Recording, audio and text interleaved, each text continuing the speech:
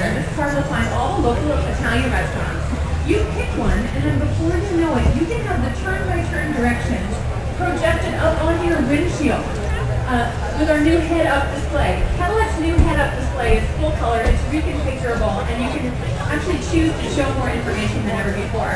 The whole idea is that you just went through that whole process without ever taking your eyes off the road or your hands off of the wheel. So this is our brand new CUE infotainment system, again debuting on this car, the 2013 Cadillac XTS, available in spring of 2012.